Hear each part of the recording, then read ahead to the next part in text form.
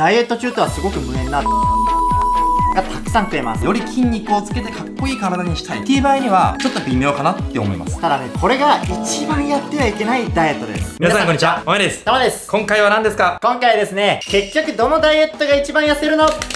数あるダイエットの中で、どれが一番痩せるのか、これ知りたくありませんか？僕らはこれまで何度も10キロ以上のダイエットに成功してきたダイエットのプロだからこそ、ただ痩せるのではなくてね、筋肉を残したまま脂肪を落とす。これが真のダイエットだと思っています。皆さん体重を落とそうと闇雲に頑張った結果筋肉まで落ちて筋肉も脂肪もないガリガリな体になりませんでしたか？だからこそ今回の動画では筋肉を残したまま体脂肪を落とすそしてかっこいい体を作るためにどのダイエットがいいかっていうのをメリットデメリット含めて各ダイエットを紹介していきますのでぜひ最後までご視聴ください今回ね、早速いくつかダイエットを紹介するんですけど、それがね、5つあります。1つ目が炭水化物抜きダイエット。2つ目がケトジェニックダイエット。3つ目が16時間ダイエット。4つ目が地中海式ダイエット。5つ目がローファットダイエット。この5つを紹介していきます。でこれどれがいいかこれ結論から先に言うと僕らがおすすめな一番痩せるダイエットはローファットダイエットですそしてなぜ僕らがローファットダイエットを選ぶかっていう理由を説明していきますのでぜひ最後までご視聴くださいでは早速ダイエット方法を5つ紹介していきます。1つ目が炭水化物抜きダイエットです。これ皆さんがよくやっているダイエットだと思います。ただね、これが一番やってはいけないダイエットです。このダイエットっていうのは、名前のごとく炭水化物、例えばお米とかパンとか、そういうのを抜く。ただシンプルなそんなダイエットなんですよ。確かに炭水化物を抜くことで、体重っていうのはね、一気に落ちるんですね。ただ、それに加えて僕らの真のダイエットで必要な筋肉、これまでも落ちちゃう可能性があるんですよ。だからこそ、みんながね、イメージしてる理想のかっこいい体、これとかけ離れた体になってしまいます。でメリットなんですけど、まあ、正直これに関してはあんまりメリットはないと思ってます、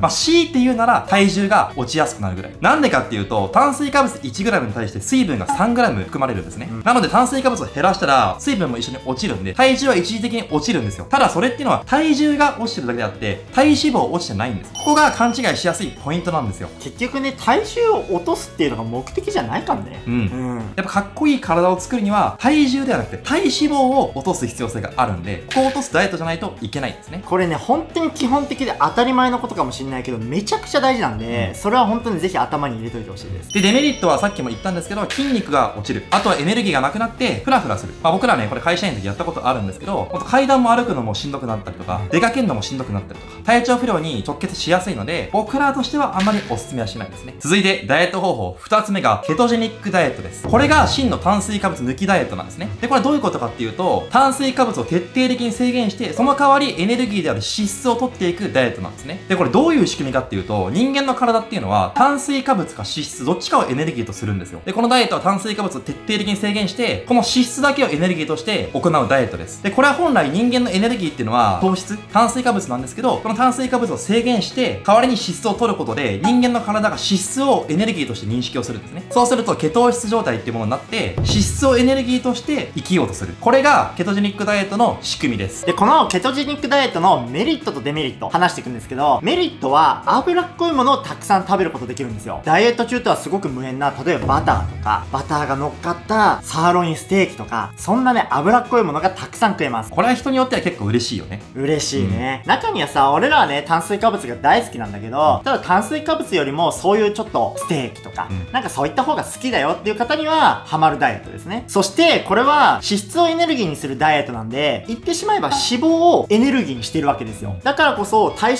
肪を減らすっていうこのダイエットの目的においては体重の減りが早いっていうのも言われてますこれはね、ローファットと違って、めちゃめちゃ体重の落ちが早いんですよ。だから短期で痩せたい人にはめちゃめちゃ向いてると思います。向いてるね一方デメリットっていうのはお金がかかりますこれね僕らも過去に企画でねケトジェニックダイエットやったんですけどやっぱりサーロインステーキとかそういう油が乗ってる食材っていうのはすごくお金かかるんですねアボカドとかも結構高かったし、うんで他には体調不良に陥るっていう点もありますね、うん。これね本当僕ら2人ともケトやってさ2人とも体調悪くなったじゃん。なったね。そう。で中にはねこのケトジェニックダイエットで体調が悪くなることをケトフルまあインフルみたいなところから来てると思うんだけど、うん。そのケトフルなんていうね言葉が存在するぐらいなんで結構な人が体調悪くなるそんな現象はありますね。なので、このケトジェニックダイエットっていうのは、僕ら個人的な体感としては、結構中上級者向けのダイエット。カロリー制限とか、食事もしっかりと管理できて、炭水化物もほぼ食べちゃダメなんで、それが徹底的にできる人。っていう人は向いてるとは思うんですけど、初心者とか、まあ、体調が悪くなるとか、っていうものを気にするる方はあんまり向いてはないと思います。続いて、ダイエット方法3つ目が16時間ダイエットです。これは16時間断食とも言われてるダイエットなんですけど、もう本当にね、名前の通りで16時間食べない時間を作る。そんなダイエット方法になります。このダイエットは何なのかって説明したいんですけど、16時間食べないことによって人間の体がね、飢餓状態になるんですよ。でこの飢餓状態になった時に、オートファジーっていう状態になるんですね。で、このオートファジー何なのかっていうと、古い細胞が生まれ変わって新しい細胞になる。そんなね、現象オートファジーって言われてます。なので、古い細胞から新しい細胞になることによって、体調の改善とか、そういう健康的なメリットっていうのがすごく見込まれてるダイエット方法です。で、この16時間ダイエットのメリットなんですけど、さっきも言いましたように、健康改善だったりとか、体重が落ちやすい。あとは、8時間の間は好きなものが食べれるんで、まあ、ストレスがないっていう人もいます。じゃあ逆にデメリット。これ何かっていうと、健康にはいいんですけど、筋肉が落ちやすいんですよ。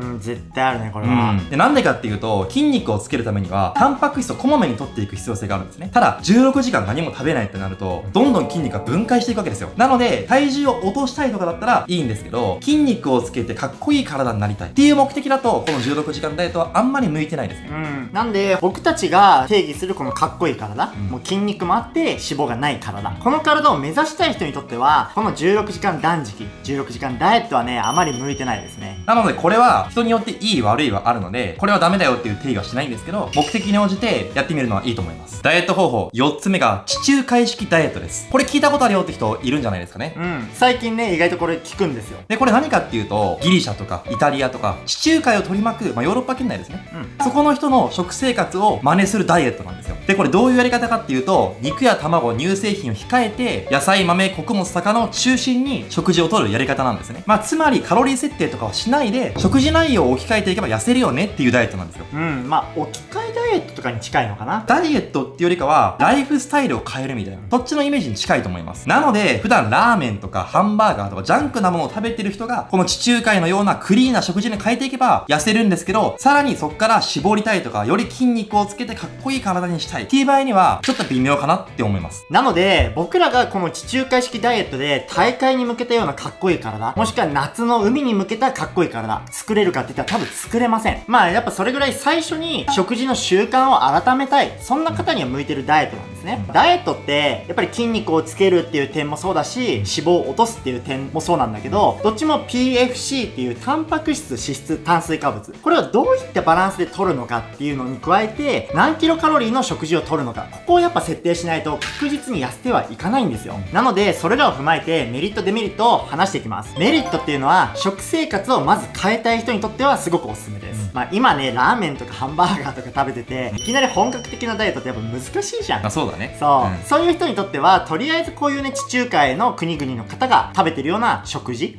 に変えてみるだけでも、だいぶね、食習慣っていうのは変わっていくので、体も少しずつですが変わっていくと思います。デメリットは、結局カロリーとか PFC っていうのをきちんと設定しなければ、かっこいい絞れた体にはなんないっていう点ですね。なのでまとめると、いきなりハードなダイエットはできません。ただ、ちょっとダイエットやってみたいなっていう人は、だいぶハードルが下がったダイエットですので、そういう方にはね、おすすめできますね。ダイエット方法、ラストが、ローファットダイエットです。これが僕らが一番おすすめするやり方なんですね。で、このローファットダイエット、これは脂質を抑えながら行うダイエットです。これはね、ダイエットを初めてやる方にとっても、油を抑えて、肉や魚、そしてご飯っていうのは食べることができるので、比較的継続しやすいダイエットとは言われてます。これ実際に僕らも夏に向けて今ね、ローファットダイエットで痩せてるんですけど、なぜこのローファットダイエットが痩せるのか、それがね、2つあります。1つ目っていうのが、この脂質。脂質がね、一番三大栄養素の中でカロリーを多く含むんですよ。脂質がね、1g あたり9キロカロリーに対して、タンパク質、炭水化物っていうのは 1g あたり4キロカロリー。つまりは脂質って他のタンパク質、炭水化物よりも2倍も多くね、カロリー含んでるのね。だから脂質を抑えることによって、必然的にカロリーが低くなる。そんなメリットがある。だからこそ痩せます。そして2つ目は、脂質と炭水化物を合わせた時に脂肪になりやすいと言われてるので、この脂質を抑えることによって、結果、体脂肪を減らすことになる。こんな感じです。す。じゃあこのローファットダイエットのメリットデメリットこれ何かっていうと、まずメリットが人間のメインのエネルギーである炭水化物を食べれるので、筋トレ中のパワーも出やすいですし、炭水化物を下げたくないっていう人にはすごくおすすめです。あとは結局このローファットダイエットっていうのはカロリー制限ダイエットなんで、うんお菓子とかケーキとかも食べれるんですよ。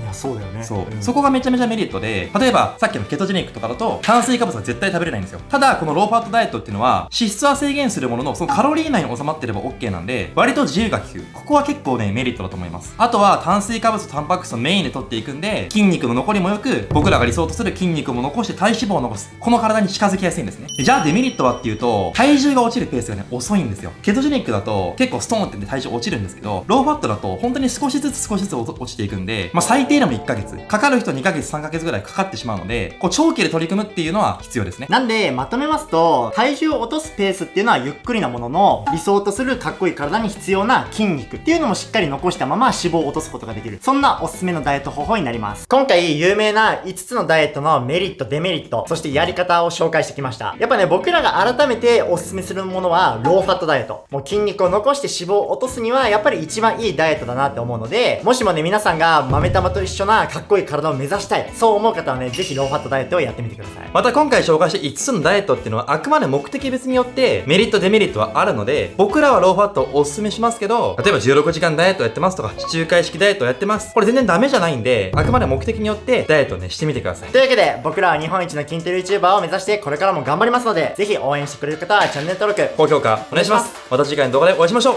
バイ。バイバイ